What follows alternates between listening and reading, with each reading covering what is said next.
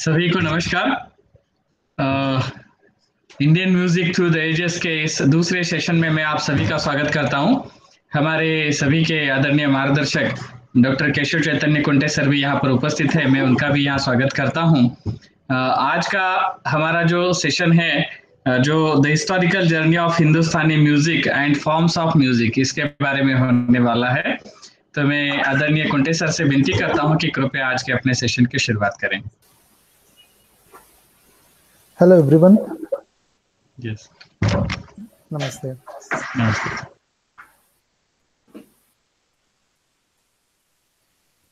Are there any participants who were not present yesterday um, and who have joined just today? Maybe only one or two, sir, but otherwise okay. all, all, Yes, sir. Yes, okay. sir, I was absent yesterday. Okay. Uh, so I think you will be shared the link and uh, you can get a grasp on the yesterday's talk uh, as well.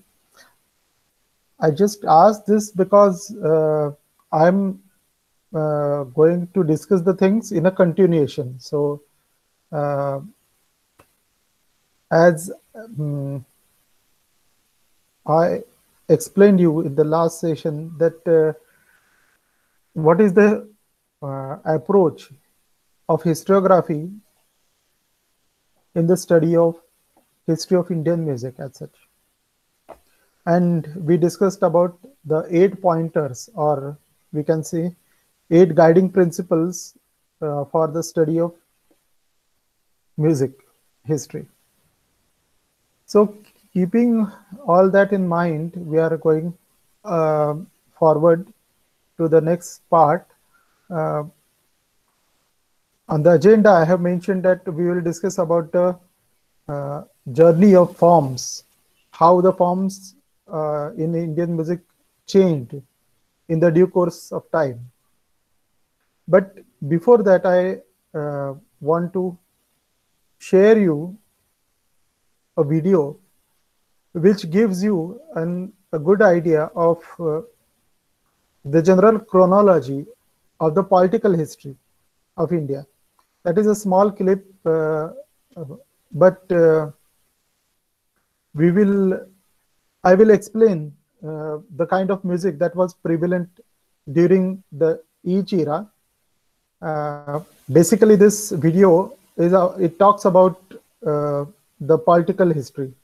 So it is a graphic uh, uh, representation of how the dynasties were there in different time slots and different geographical uh, regions. So I will play that clip first and then we will discuss about the changing forms in Indian music.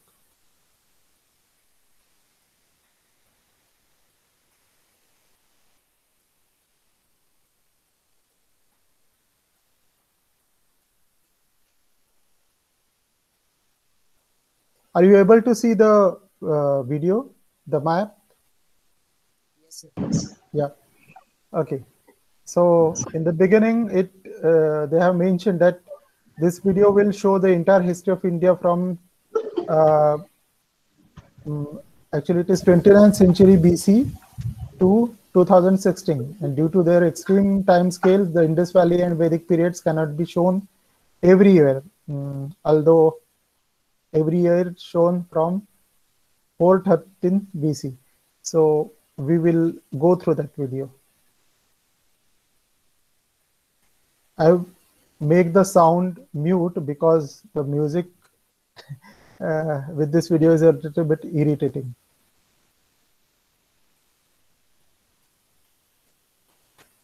So this is Indus Valley civilization period. Uh,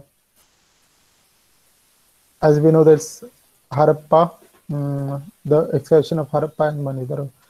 After this, this Vedic Janapada period from 1500 BC. This is Gandhar, uh, today's Afghanistan. Uh, and we all know that from this region, the uh, Kaurava queen, Gandhari, was belonging. Going after, here is Kamboja. This is Anga Desh in Bengal. This is Kosala Pranta. Now you can see that uh, around 1000 BC, there is a gradual expanse of the dynasties in the northern belt of India, uh, especially in the Doab of Ganga Jamuna. And uh, today, say uh, from Himachal, Haryana to UP, Bihar, and Bengal, this area. So uh, the Vedic Janapadas were basically from this uh, region. Why I'm telling you this, uh, it has a, uh, a deeper connection with the music. So we need to understand this geography also. Vatsa Anan, Anartha Desha, that is today's Gujarat. Then there is additions like Shaurasena, Vatsa,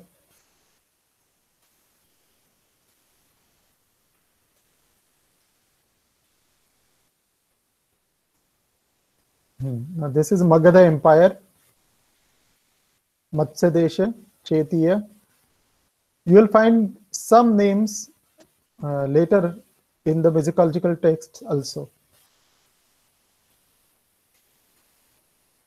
There is addition like Anartha kingdom here and in the south you will find in around 5 uh, 5th century BC there is Pandyas in the uh, southmost region of India.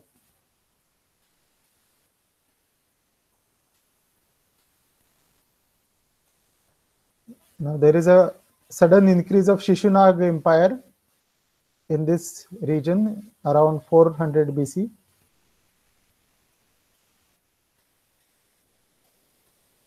This empire is increasing. Now this is Kalinga uh, region, today's Odisha. There is addition of Chola kingdom in south. Suddenly this uh, political map changes with the expanse of Nanda Empire.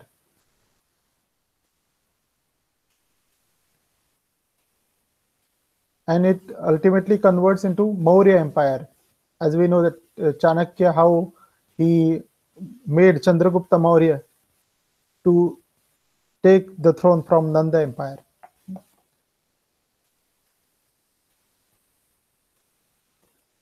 Now see, this is Maurya Empire in a way which uh, extends till today's Afghanistan and Turkmenistan, that region.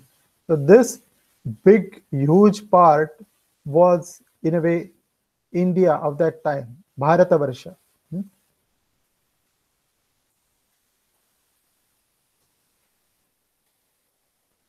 You'll see that in the South India, there are Cheras, Cholas, and Pandyas. These three dynasties, there are South India.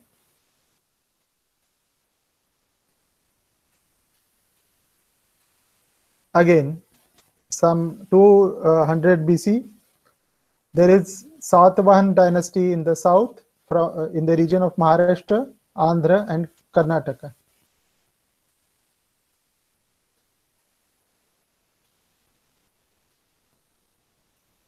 Yeah. Now this is Indo-Greek kingdom, uh, also called as Kushana Empire.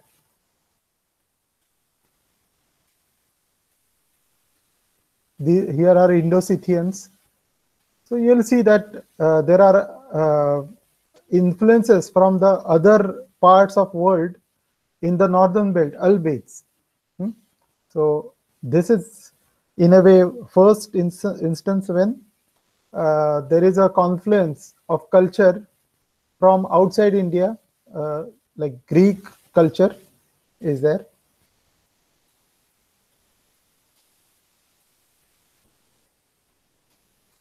You'll see the Shunga Empire is coming up gradually.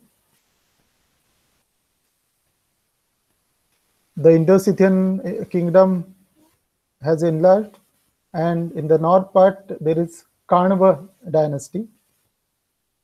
So this is 68 BC. We are on the verge of AD now. You'll see that the, there is again decentralization of the kingdom. After the fall of Mauryan Empire, gradually uh, there is decentralization of dynasties in the upper part of India.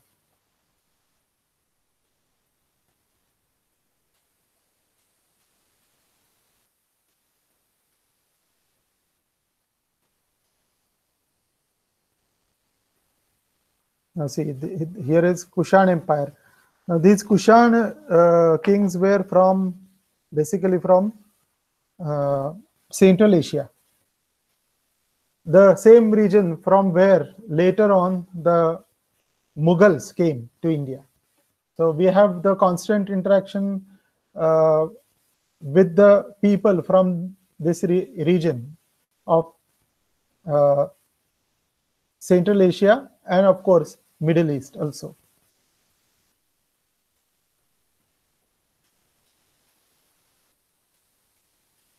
The Kushan Empire is growing now in the first century.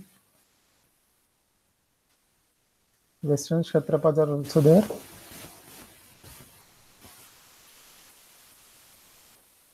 Then there are Yodhavas, Abhiraj. Again, there is a decentralization. Now, the, here, here uh, in the Maharashtra region, there is the Vakataka dynasty, and we know that this dynasty uh, was the makers of Ajanta uh, or El- Ellora.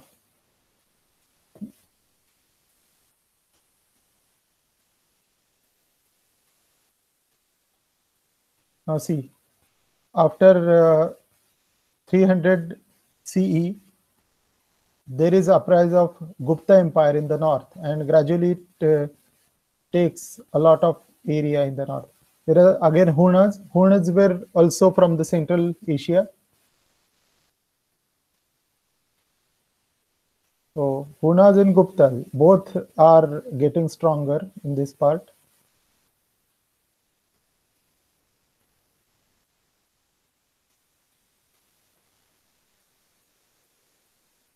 So this is called as the golden period of ancient India.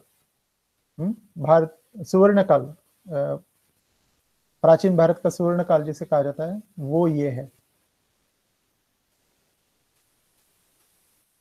again from the 5th century or uh, there is decentralization you will see uh, small dynasties coming up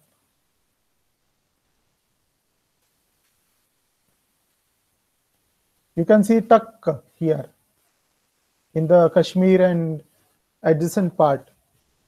There is a rock called tak so we need to remember all such geographical names or names of dynasties because there are a lot of references to the names of ragas names of instruments names of uh, talas related to all such uh, happenings again uh, here is chalukya dynasty kalchuri dynasty nalas later guptas and kanauj uh, the kingship of kanauj and thanesar is today's delhi area or haryana uh, part. In the rajasthan today's rajasthan area uh, it's gurjar and pratiharaj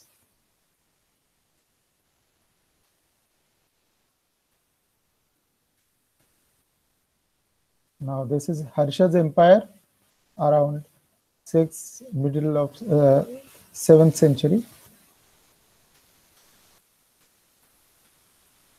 It suddenly vanishes and other dynasties take over.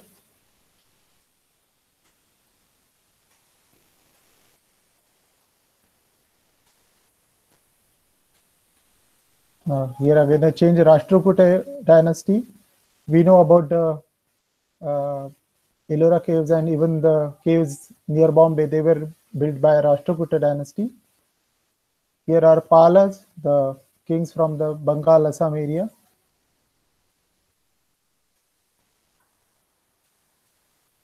Now you'll see that after this 9th century, there is again upheaval and decentralization on a larger level.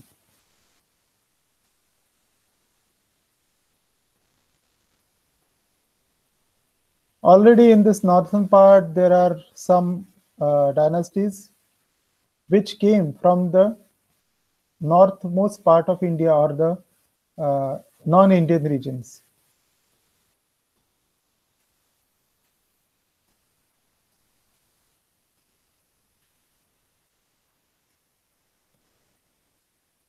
Now see, here is Ghaznavid Empire here in the northern part, adjacent to Sindh.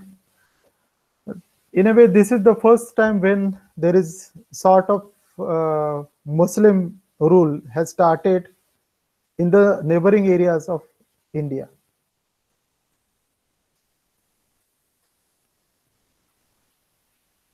You'll see that gradual increase of Islamic uh, dynasties in the India.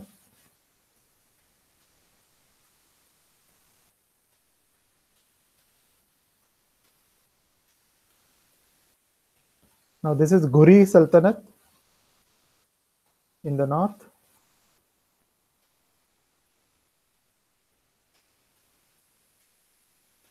In Maharashtra, there is now Yadav dynasty, and already Delhi Sultanate has formed in the north belt. So the, this green color is in a way uh, the Muslim rule in India.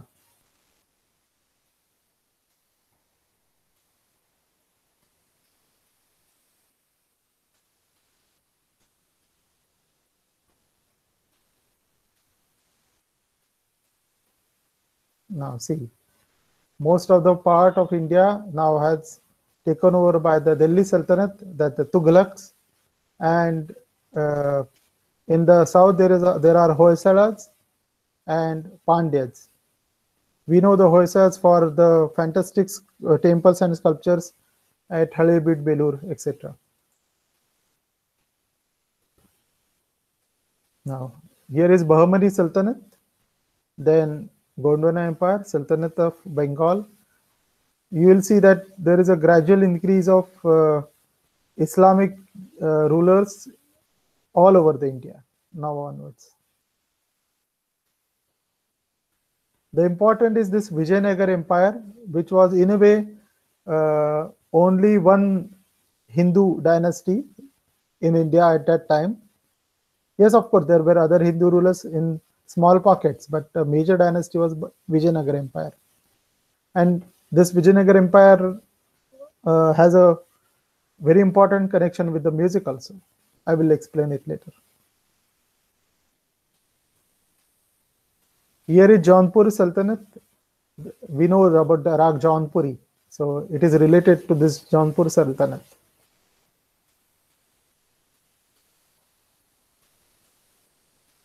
Now you see again fragmentation with Rajput uh, dynasties and Lodhi dynasties in here in Delhi. Here are Bahmanis. Vijayanagar Empire is still going on. You will see the gradual increase of Delhi dynasty under Lodhis. Now this is Mughal Empire is gradually increasing on a larger scale.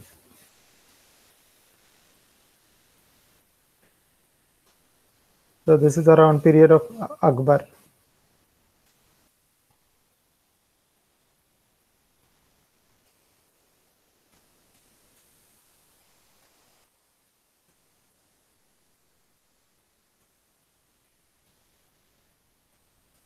Now you'll see that the Marathas are there. There is Mysore state here in the south and rest of the India is under Mughal Empire. So after Mauryas, you will see that the most of part was taken over only by the Mughals. एक क्षत्रिय सत्ता जिसको हम कहते हैं वो मौर्यों के बाद मुगलों की ही है Now you will see the Sikh Empire in the north. Here are the, here is Maratha Empire, Nizam, and of course the Nawab of Awadh and Nawab of Bengal.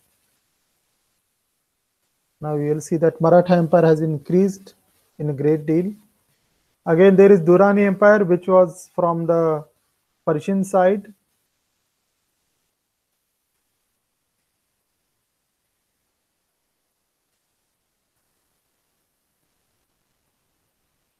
I will see again that there is decentralization on a larger scale. There are small dynasties and kingships or princely states now taking over, and uh,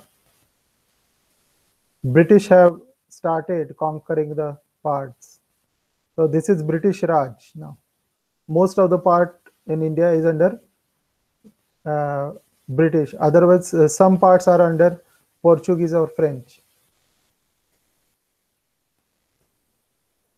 Now we enter into this last century, 20th century.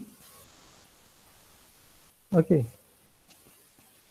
Now this is modern political map of India with Pakistan, India, and Bangladesh is divided into. Uh, so, yeah. Uh,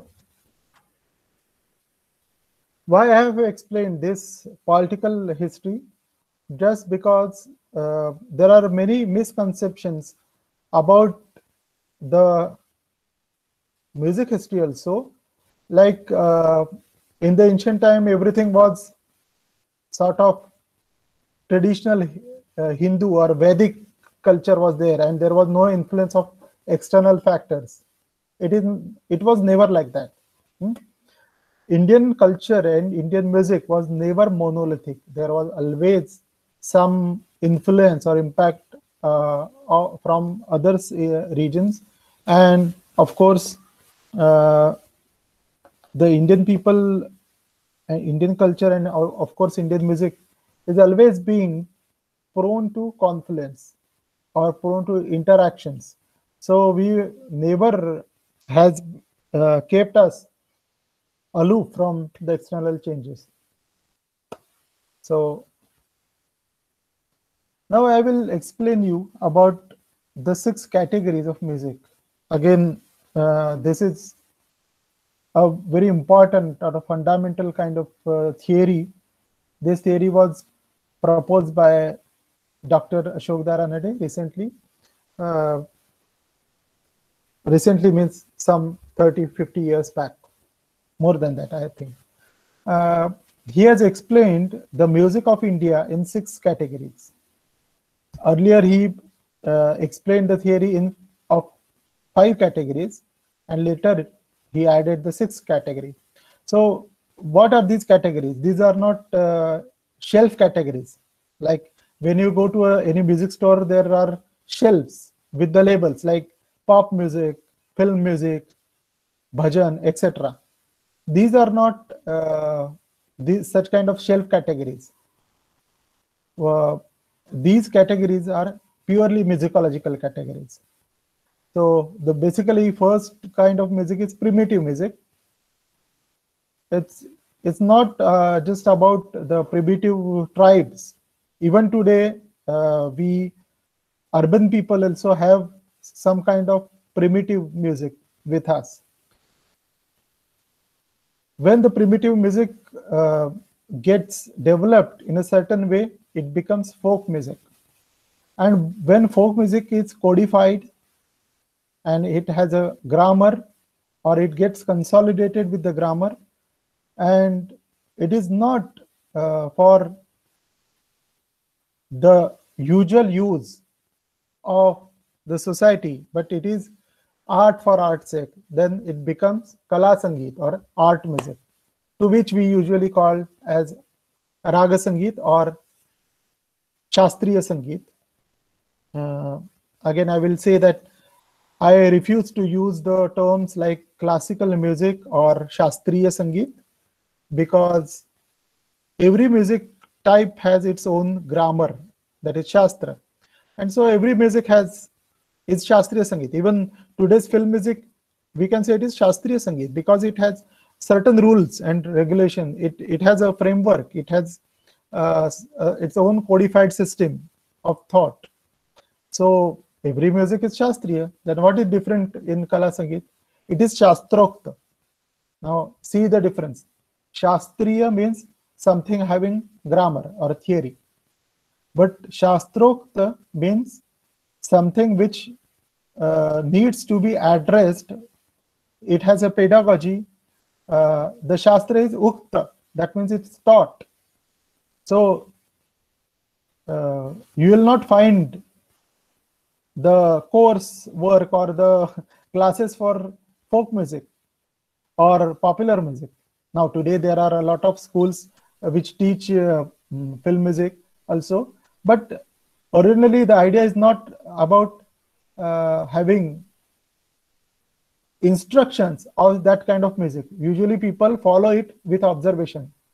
But the Ragdari Sangeet, to which we call Kala Sangeet or art music, needs to be uh, taught by a guru. Because it is a much uh, codified system of music. You cannot understand and you cannot uh, present it without proper uh, instruction. And that is uh, that's why it is called as kala sangeet. It is art music. It is not just shastriya sangeet. It is shastrokta sangeet uh, also i uh, don't use the word classical music. Uh, why i don't use the word classical music for art music or raga sangeet? Uh, can anyone please tell me uh, what do you mean by classical? The the term classical not just classical music just classical. What is classical? Oh for a certain class of uh, shrotas okay uh, so the music is, is for certain class of uh, uh, listeners okay No, sir. is uh, something which is old uh, it's uh, खूप पूर्वीपासून चालत आलेलं जुन्या जुन्या काळाचं संगीत okay म्हणजे classic Okay, so I will. Uh, uh, I want to remove these two misconceptions. uh, firstly, Indian music or the Raga Sangeet is not age old or it's old. It is constantly developing. Even today, the Raga Sangeet is developing. It is changing. So we cannot say it is just ancient music in that sense. Hmm? Or uh, something is re- uh, restricted to a class of people.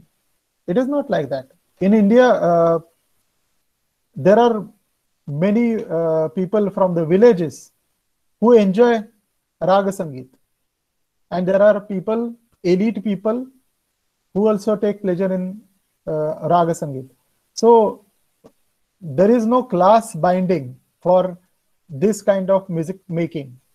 Hmm?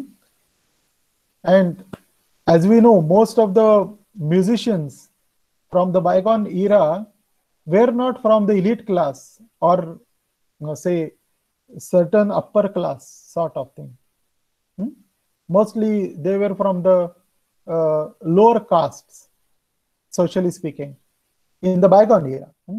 So there is no, in a way, classical thing in our music. Hmm? Actually, uh, ये गलत फहमी कहाँ शुरू हुई है हमारे संगीत को क्लासिकल म्यूज़िक बनाने की हमारे ग्रंथों में कहीं भी ऐसे कोई अभिजात संगीत, ऐसा शब्द नहीं आता, या क्लासिकल म्यूज़िक ऐसा कोई नहीं आता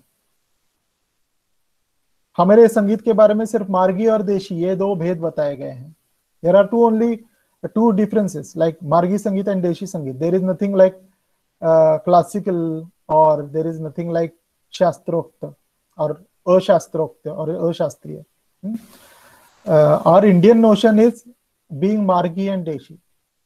So we, I will explain these uh, terms later, but I must point it, uh, point it out that basically this term classical music is borrowed from the Western music.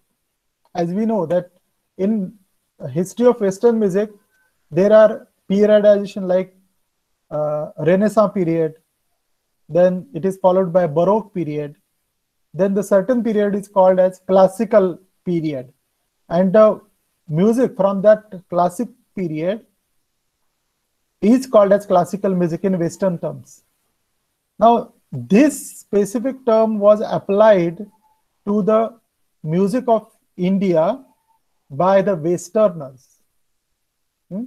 the western scholars who described our music firstly they applied this term as classical music Hmm? because they found that mostly this music, Raga Sangeet, was confined to the courts, royal courts. And uh, at that time, in the British era, it was confined to courts. And also they found that uh, it is enjoyed by mostly the uh, elite class. So they just stamped it as classical. They didn't uh, took the consideration that it is not just a royal court music. This music has percolated uh, on a larger scale or the larger socioeconomic strata of India. Hmm? So this this is a very wrong notion that is Indian Raga Sangeet is classical music. In Western music, there are uh, there are uh, uh, later uh, phases like romantic music, modern music, postmodern music. Likewise, Indian music do, uh, doesn't have such kind of classification on the basis of periodization, and that's why I refuse to use this word classical music. On the other hand, uh, we musicologists use the terms like art music. Hmm? Uh, and of course, these these three categories like primitive music, folk music, and art music are developmental categories. They have grown out of each. Hmm? So the art music has developed from folk music, folk music has developed from primitive music. So it is a, in a way, developmental hierarchy. And mind you, all these categories were present from the ancient times to modern. Hmm?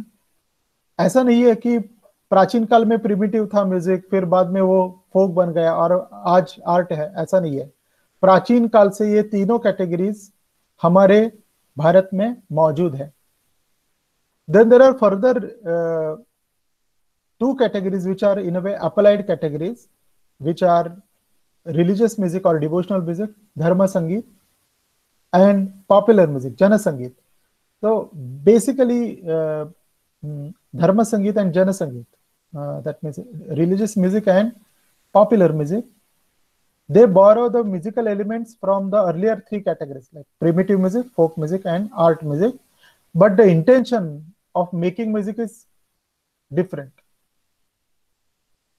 when the intention of making music is about the devotion, about the religion or religious practices, it becomes religious music. So the music might be primitive or it might be art music. But when the intention is for making religious practices, it is Dharma Sangeet.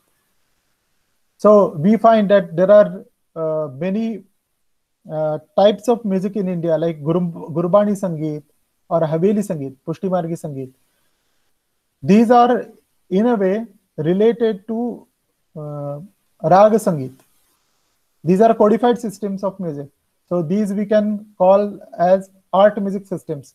But we don't call them art music systems because they are not intended for uh, making the music for art for art's sake. They are for religious practices. So they have religious taboos also. They have specific regulations related to the religious dogma. And that's why they are called as religious music or devotional music category. Uh, even the popular music genre is widely spread in India. Mm. Today's uh, examples like Marathi Natya Sangeet, Bhavageet, Ghazal, Ravindra Sangeet, Hindi or any regional uh, type of film music is popular music.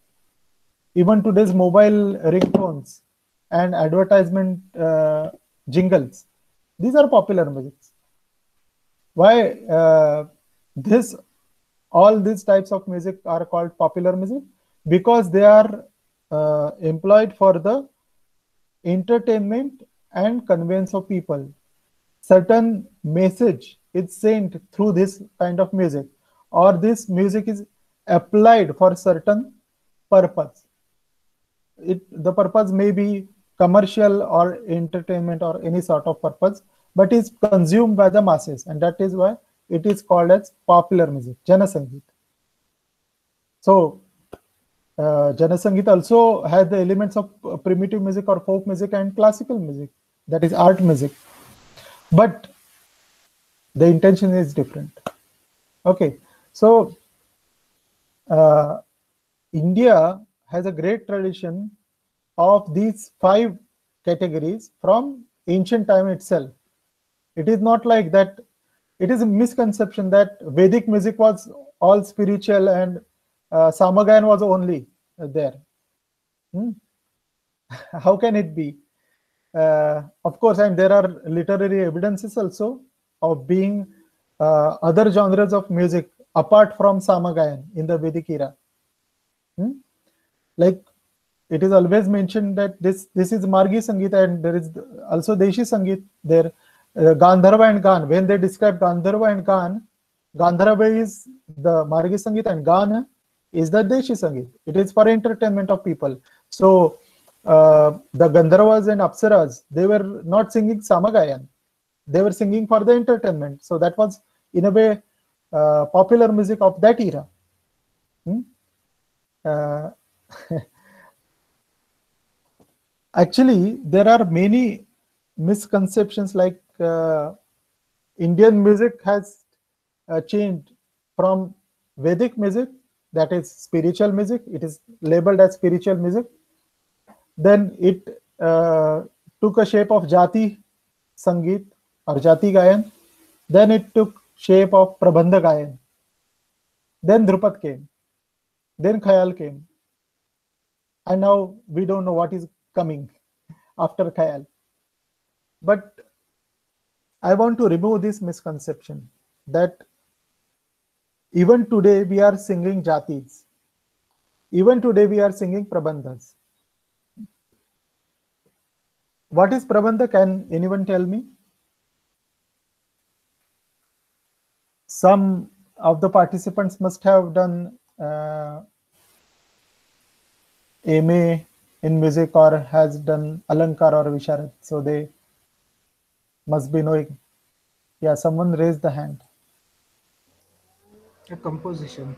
Yeah, Prabandha means a composition. And of course, there are, there are uh, certain rules and regulations like Dhatu and Angas are described.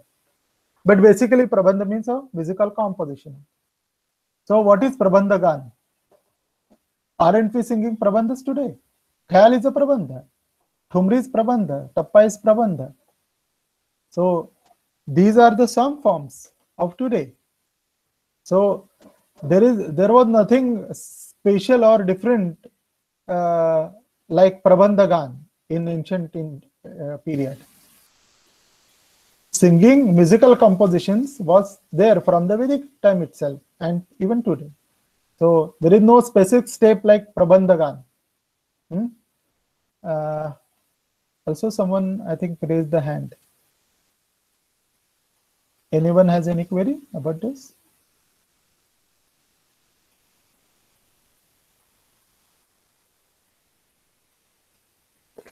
Okay, so uh, can anyone tell me what is jati?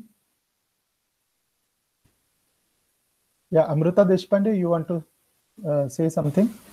Uh, yes, sir. I wanted to ask that uh, if uh, the Prabandha is not something very special or something different than today's music or the Vedic music, then uh, why it is called something different or what is the actual uh, difference in Vedic music, Jatika and Prabandha? all these things. So why it is uh, uh, always told like it is Jati Gayan, Prabandha Gayan, Drupad Gayan, Khayal Gayan? Uh, that's what I'm trying to tell you. It is a wrong notion. Hmm? It's misconception. Oh, I see. Yeah, Oh, thank you, yeah, of course. Uh, in the ancient times, the prabandhas or the compositions were different uh, than today. Hmm. And how they were different is a part of research in a way. If you uh, decipher the types of compositions from, say, Brihadeshi or Sangit Ratnakar or any uh, such treatises, you will find that oh that kind of compositions we are not singing today. Hmm? and interestingly some of the compositions or types of prabandhas they have still sustained today. Like mm, i will say charchari prabandha of the ancient times is today's thumri. Or the Matrika Prabandha is today's Sargam Geet or the Champu from the Odishi Sangeet or Raga Kadamba is today's Ragamala. So there are several forms which have transcended to us even today. Like we sing even Ashtapadi, we sing, which is uh, there from the 12th century. But of course, the way of singing Ashtapadi at that time, or uh, the way of singing Matrika Prabandha or Raga Kadamba or Chaturanga Prabandha in the ancient or medieval time was certainly different. Because see, uh, in every say 15 or 100 years, the music changes its shape. The presentation techniques change. Some ideas change. Even though the basics or the fundamentals of the music are the same, the manner of presentation changes. And that is uh, the basic nature of human beings. Like we have changed the clothing or we have changed the food habits in last 100 years. There are a lot of changes. Similarly, music is uh, ought to change. No? So uh, when we see say that even in Vedic music there were prabandhas, like even prior to uh, Natya uh, Shastra, there is mention of Gitis and Saptagitis, etc. So they were the prabandhas of that time. Okay. And yeah, uh, I asked uh, that can anyone tell me? Yeah, there are raised hands. Okay, I need to address them. Uh, Bipin Das, uh, what is your question? Question question नहीं है sir आपने हाँ। पूछा था ना कि जाति गायन आज हाँ। क्या हो सकता है तो शायद आज के जो राग है उनको हम जाति गायन बोल सकते हैं Okay, I will explain you uh, later. Uh, Kishori Upadhyay, what is your uh, take? Uh, sir, you have already covered that point. That I just wanted to say that the way and style of presentation was different, Yeah, and so yeah. uh, so you already covered it. Yeah, Thank okay. Uh, and Kalpana Jain, what is your point? अं, sir मी तुमचाच एक अं, स्वरार्थ प्रबंधावरती लेख वाचला होता Yes, yes. तर हा, बा मायना बा मायना बंदिश असा संबंध तुम्ही त्याचा सांगितला होता yes, मला एवढं विचारायचं आहे की थोडं जर वाचलं प्रबंधांविषयी. तर त्याच्यात येणारे म्हणजे ते न पाठ विरुद्ध हे सगळे अंग मला वाटतं आपल्या बंदिशीमध्ये कुठे ना कुठे दिसतच असतात आपल्याला course. संबंध जोडताना नेमकं काय बघितल्या अं, जात आहे म्हणजे असं मला विचारायचं Hmm. Okay, I will explain When I will discuss about the ancient period. Uh, but um, I will just mention here. Mm -hmm. Thank you. Yeah. So uh, as Bipin uh, uh said that jatis were a sort of uh, ragas of that time. Uh, yes, but ragas were we can say that they were prototypes of ragas, or they were precursors of raga. Hmm? Uh, it it was something which uh, from which ragas were born out. Hmm? And as the musical treatises tell us that there were 18 jatis, uh, seven were Shuddha jatis, and 11 were Vikruta jatis. And seven jatis were from uh, the Saptaswaras like Shadji, Arshabi, Gandhari. Uh, and the 11 were from the combination. So most of the musicologists uh, or the music historians tell us that uh, these were in a way sort of thatas or melas. But how come they were different from melas of today? Because they had specific rules of uh, exposition of the notes. Like there were uh, jati lakshanas like graha ushanyasa, etc. So in a way, the jatis were not just the uh, melas, but they were also melodic designs. Um, they were tunes. They were, in a way, folk tunes uh, in a codified manner. Hmm? And that's why they explain the rules like there should be uh, a swara from the song starts. Uh, when the charana ends, there is specific uh, swara. when the song finishes, there is specific swara. So the graha, usha, nyasa, apanyasa, sanyasa, vinyasa, these are the rules about that jati.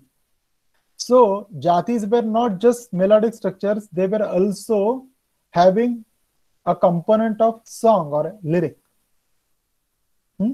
And that's why they were different than ragas. But eh, later on, elaborating on the same ground, musicians in the later part of ancient time, they started creating different melodic patterns out of that jatis. And that's why we find the step of grama ragas. And then there were variations like uh, from bhash, uh, there were bhasha, vibhasha, antarbhasha. Later on, it also developed into kriyanga, upanga, etc. So the types of ragas started increasing, and uh, we find that this system of raga, which started building uh, around, we can say, second century AD or even before that, uh, even though the grammar of raga is firstly told in Brihadeshi, that is from the 6th to 8th century AD. But the roots of grammar uh, raga or raga were prior to that period. As, as we know that uh, we don't have the treatise, musical treatise uh, prior to Brihadeshi, which explains the ragas. Like Natya Shastra, uh, has explanation of jatis, but not the ragas as such. Though it mentions the word raga, but in a different connotation. It is not a uh, musicological term. It is used just as a raga, anuraga, or priti in that sense. Uh, but we find another uh, text like Naradiya Shiksha or Dattilam, which have the reference of grama raga after Natya Shastra. And there must be a certain developed system which described grama raga prior to Brihadeshi because in Brihadeshi, Matangamuni explains us that uh, Kashyapa and Durga Shakti, such musicologists have already uh, explained the grama ragas. And on that basis, I'm telling you. So that means already uh, the grammar of grama ragas was elaborately told prior to Brihadeshi. Unfortunately, these treatises are not with us today. Hmm? Uh, so that's why we tell uh, that Brihadeshi is the first treatise which tells the grammar of raga. Hmm? But interestingly, we find several references to raga in the literature prior to Brihadeshi. Like Kalidasa's literature, there are mentions uh, or references to ragas. Like he mentions uh, Kaishika rag or he mentions raga saranga in Abhijnana Shakuntal. So what is the period of Kalidasa? He belongs to Gupta period. So around 4th century, 4th to 5th century. So that is prior to uh, Brihadeshi. That, that is clear indication that there was a foolproof system or grow, uh, fully developed system of ragas prior to Brihadeshi. Now, what were the forms through which they were singing the ragas? So they were the Gitis, Giti. Hmm? And uh, eventually from Sangeet Ratnakar, we understand that he has explained the Prabandhadhyaya in greater depth and great details. So he divides the Prabandhas or the forms of uh, music or compositions in different ways, like Shuddha Prabandha, that is Sudha Prabandha, Ali Krama Prabandha, then Viprakirina Prabandha, that are miscellaneous. And of course, he has uh, explained many song forms which are not just from the devotional music or art music, but he also uh, covers some forms from folk music. Like even uh, prior to Sangeet Ratnakar, there is a treatise called Manosollas by Someshwar Chalukya. And he explains uh, many folk forms, like from Maharashtra itself. He explains the Ovi. He explains Dhavala Prabandha, that is marriage songs, to which we call today Dhavale. Even he tells us about uh, Giti, that is the devotional songs or sort of uh, ritualistic songs. Uh, so we we can say that uh, there were several forms in different kind of categories. Okay, so uh, as Dr. Ranade uh, uh, said, all these categories: primitive music, folk music, art music, uh, religious music, and popular music. They are prevalent in each time, but the form of presentation was ever changing or ever growing. So, uh, in Vedic music, we, we can find that there are traces of primitive music. When they are saying the Archika Gan or Gathika Gan, that, that, that is primitive music. Hmm? And when they are saying uh, about the Sama Gayan with seven notes, then it is Margi Sangeet. So it has developed. Hmm? So in a way, it is uh, that music is uh, beyond folk music. It is has reached to the state of art music, and of course, the Gandharvas and Apsaras singing for the entertainment. So that was popular music. Okay, so from the Vedic period itself, we can say that these five categories of music were present, and when we see that from uh, especially from the fifth or sixth century onwards, we have the constant uh, interactions from other uh, communities, non-Indian communities like Greeks, Kushan, Pahlav, then uh, even in the medieval times, the Mughals, etc. So there was always give and take of music cultures. And here enters the category of confluence music, Sangama Sangeet. And I, as explained, uh, Indian music was never monolith. It was uh, always having undercurrents from everywhere. So when uh, some musicological text uh, the term Parada Rag or Turushka Rag, Turushka Priya Rag, what does it signifies? It signifies the confluence of music. Para the rag means the ragas or the tunes which were borrowed from the foreign influences. Para the rag. Hmm? Or they were telling about Turushka Priya rag. Who were Turushkas? Turushkas were Turkish people or the people from the Mediterranean region. Hmm? And the melodies which were uh, brought by these people, Mediterranean people, Turushka, they might be Turkish people, they might be Arabic uh, Arabs, or they might be uh, Persian uh, people. Because we know that from second century onwards, India had a constant trade uh, with this Mediterranean region. And during the monsoon, these people were staying in India, Indian coastal region for four months. Naturally, there was give and take, musical give and take also. And you can see in the paintings of Ajanta, there is a depiction of the people who were from this Mediterranean region. Naturally, this music from the Mediterranean region was adapted here. So, see, before advent of Islam in India or the Islamic rule or the conversions uh, to the Muslim religion, long back, India was interacting musically with that region and there was a constant musical exchange. And that's why we have uh, the terms like Paradarag or Turushka Priya Rag. Hmm? Of course, the uh, picture changed on a gross uh, level in under the Islam rule, Islamic rule. Why? Why it is so? Because there was a great cultural shift. The language changed, the living culture changed.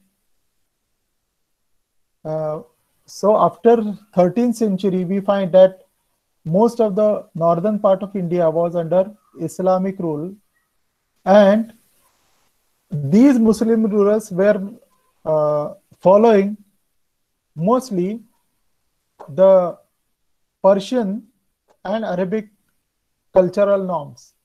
So the language also changed. Earlier times it was Sanskrit and regional Prakrit languages like Shauraseni Prakrit, Maharashtra Prakrit, Lati, etc. So the language of singing was Sanskrit or Prakrit.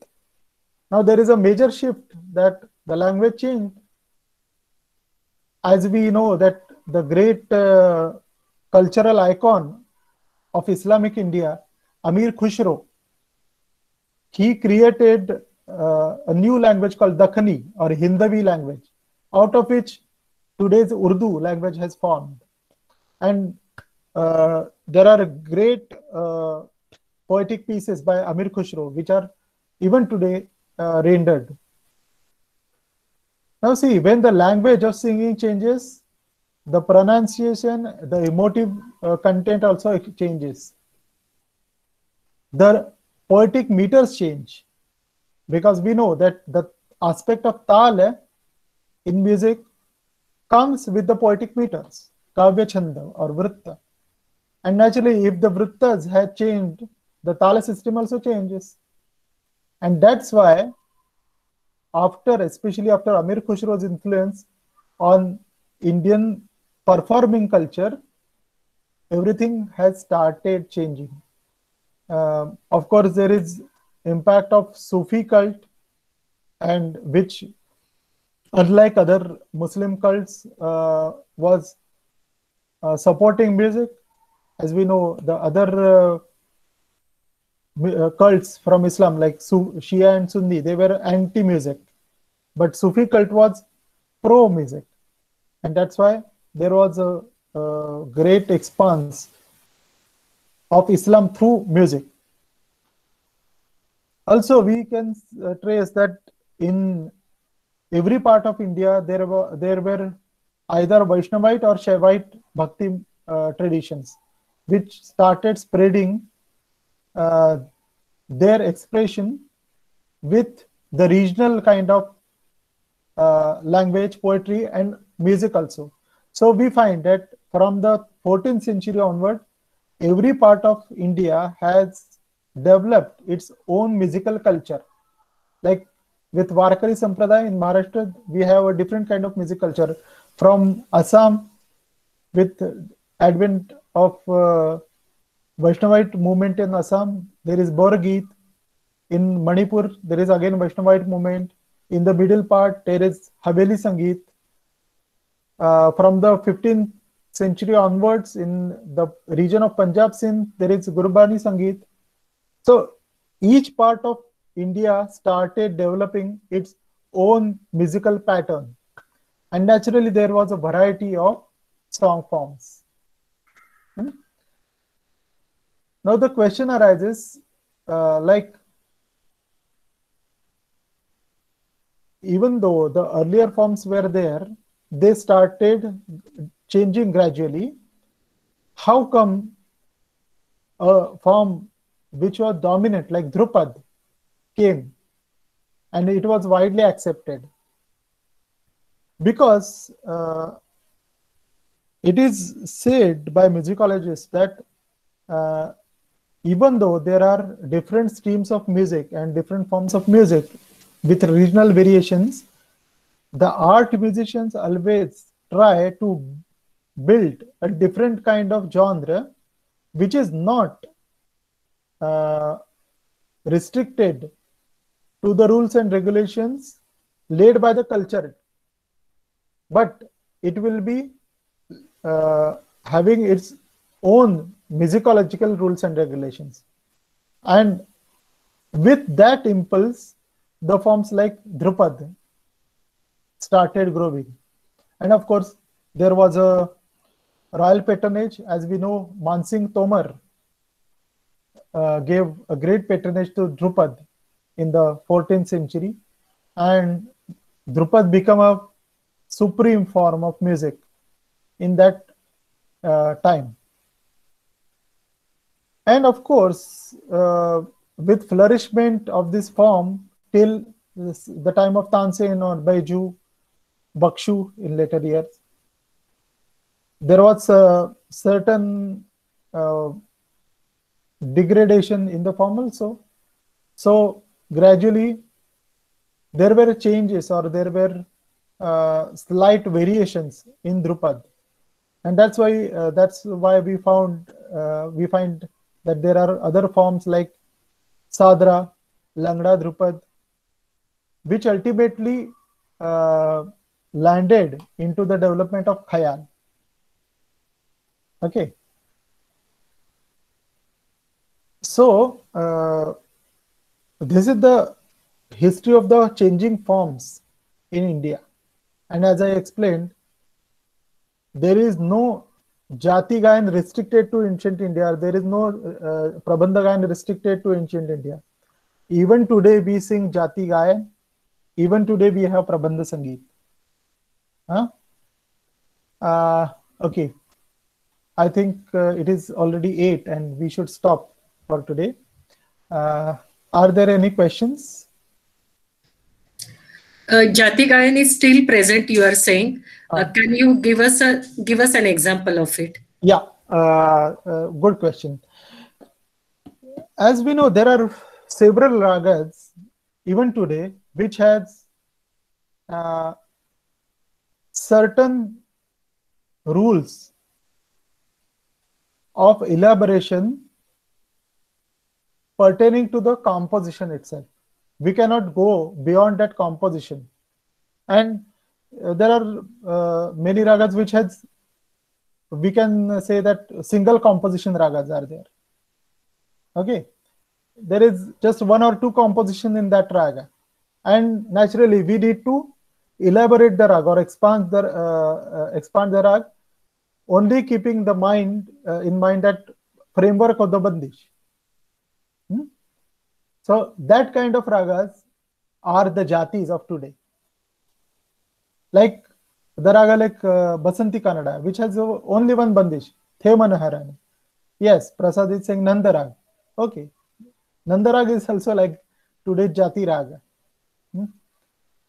Because we are restricted to the specific note structure and the specific composition. So we cannot go beyond that rigid structure while improvising that raga. So such ragas, uh, we can say they have the reminiscences of the ancient jati system in today's music. Okay. देसी राग इसमें आ सकता है क्या Uh, n- not uh, really because now Desi Rag, uh, though it has a, a specific structure of phrases, it is elaborated in much wider scale, or we can elaborate in uh, with a lot of freedom today. So, but yes, in, if we considered uh, the Deshi Todi as such, the specific form or raga rupa of Deshi Todi, which is prevalent in Atrauli tradition, we can say that is uh, uh, sort of jati.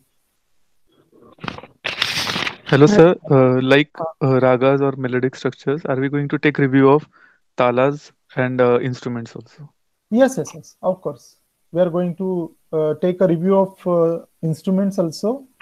Uh, not much of tala because uh, there is a lot of ambiguity about the talas in the ancient times, and there are very few references uh, of talas or development of talas in the musicological texts uh, till the 16th century.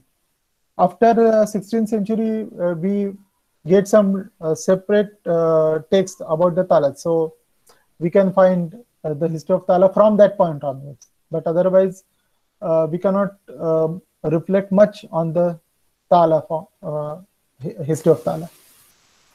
Okay, I think there are a lot of uh, raised hands.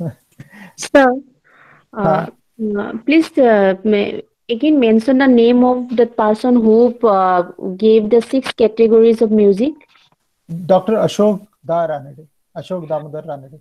You can Sir- read his two books, uh, Essays in Indian Ethnomusicology. Second book is Perspectives on Music. And third book is Hindustani Music. These three books you will find these theories. Actually, I, I must say that uh, everyone, uh, every participant uh, must read Perspectives on Music and Essays in Indian Ethnomusicology. These are must read books. Okay. And of So- course, there is a uh, another great book uh, by the same author, Concise Dictionary of Hindustani Music. That is also a must-read uh, book.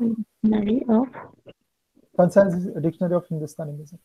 Can you please say those six uh, again, please? Uh, primitive music, that is Adima Sangeet. Folk music, that is Loka Sangeet. Art music, which is Kala Sangeet. Then Dharma Sangeet, which is religious music, popularly called as devotional music. Uh, Jana Sangeet, that is popular music. And the sixth category is confluence music, Sangama Sangeet. Thank you. Yeah. Uh, Shivani, what is your question?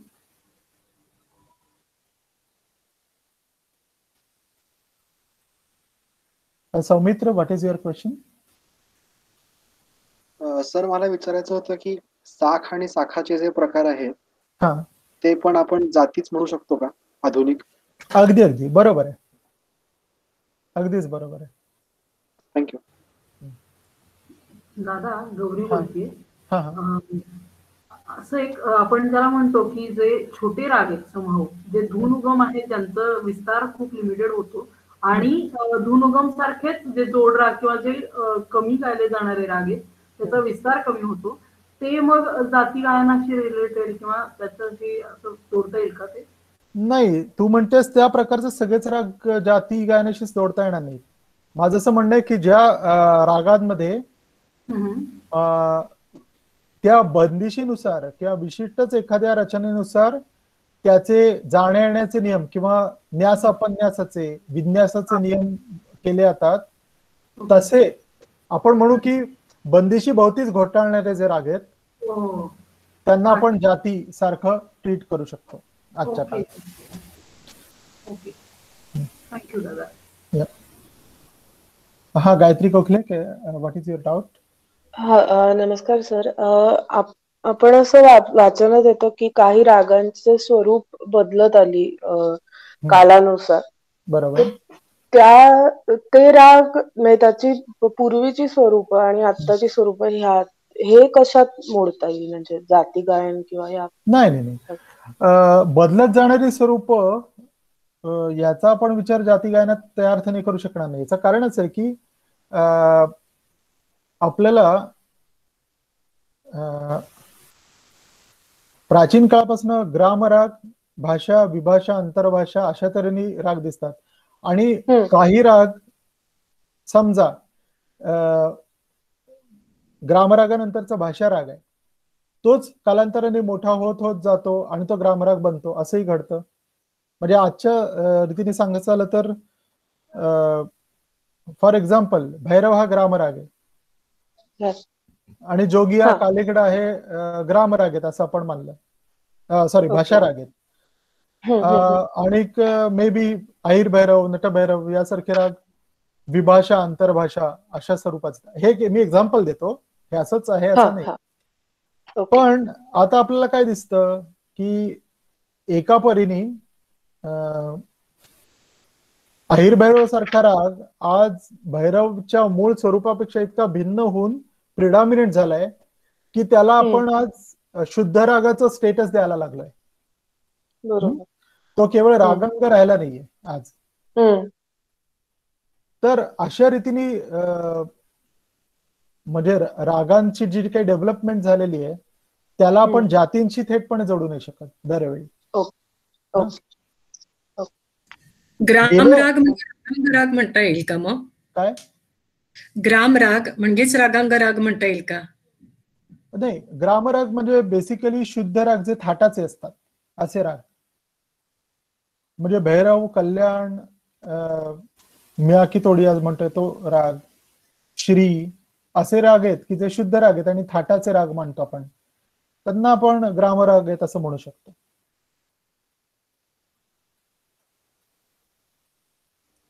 Sai Sai बोलतोय.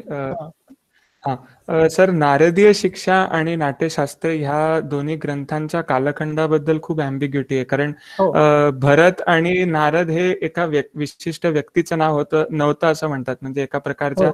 म्हणजे जे खूप सारे शास्त्र काय म्हणतात त्याला शास्त्रकार होते त्या जातीचं किंवा त्या प्रजातीचं नाव होतं असं म्हणतात.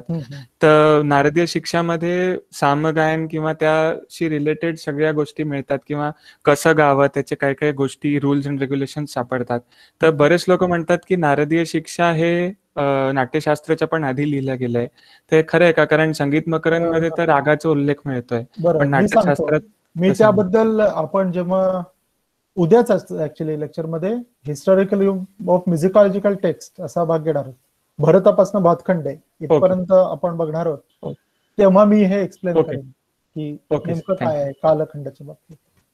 Okay okay I think we will we need to stop here it is already eight yes sir yes yes thank you thank you thanks a lot बहुत ही सुंदर सेशन है और संगीत का एक ऐसा सफ़र जो आप हमें बता रहे हैं।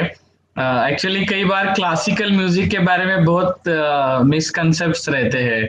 ये जो आपके इसमें से आज बहुत ही क्लियर हुआ और काफ़ी सारे नई बातें और भी सुनने को मिली। तो ये हमारा सफ़र जो है निरंतर चलता रहेगा। बहुत बहुत शुक्रिया आपका और सभी पार्टिसिपेंट्स का भी बहुत बहुत शुक्रिया। अगर कुछ भी टेक्निकल या कुछ भी प्रॉब्लम्स है तो ज़रूर आप जो है व्हाट्सअप मैसेज कीजिए। और जो डेली नोट्स आप ले रहे हैं कृपया उसका फ़ोटो लेकर के व्हाट्सएप पे ज़रूर भेजे। So thank you thanks lot again and now will stop here thank you sir thank you sir thank you.